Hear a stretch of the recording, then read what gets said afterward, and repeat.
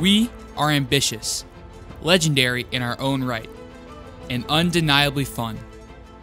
Home to a high school like no other. Here, we are leaders, scholars, artists, athletes, men for others. We are many unique parts, yet one unified body.